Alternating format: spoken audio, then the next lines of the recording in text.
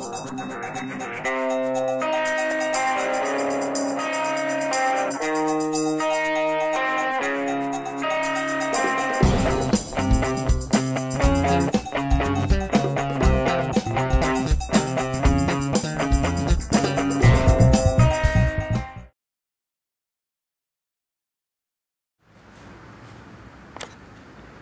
guys, Program Hacker 1 here, and today I'm going to teach you how to back up all your App Store data files and apps and your Cydia apps that, with just a few taps and, and an internet service provider definitely.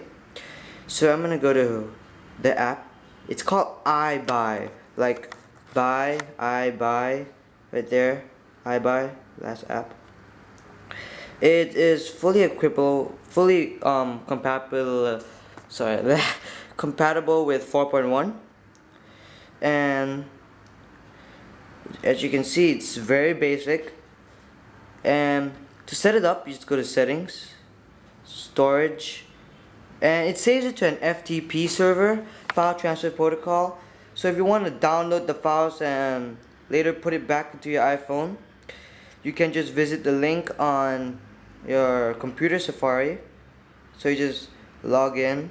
I can't show you the next page because oh yeah I can um, so you just sign up for the Find My Tech Data Saved account and you'll be registered. All you have to do is log in to the FTP server on your computer or Mac and log in there and boom automatically download the file.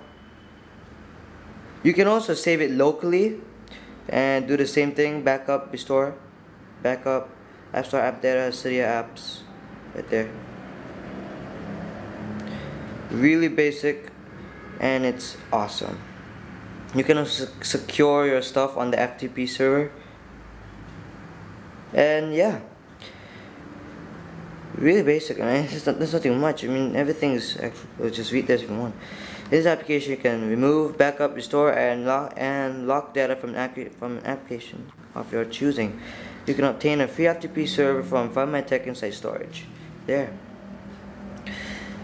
This actually just got recently, um, the Cydia app and App Store data feature, backup feature just got released with this new update. So, I'm not sure there's any bugs or anything. And I don't think it's compatible with 4.2.1 yet. I'll just check on it and, be, be an annotation here. Alright, thanks for watching this video and I will catch you later. And don't feel free to ask me questions on this app and subscribe. Alright, thanks for watching this video and I will catch you later. See ya.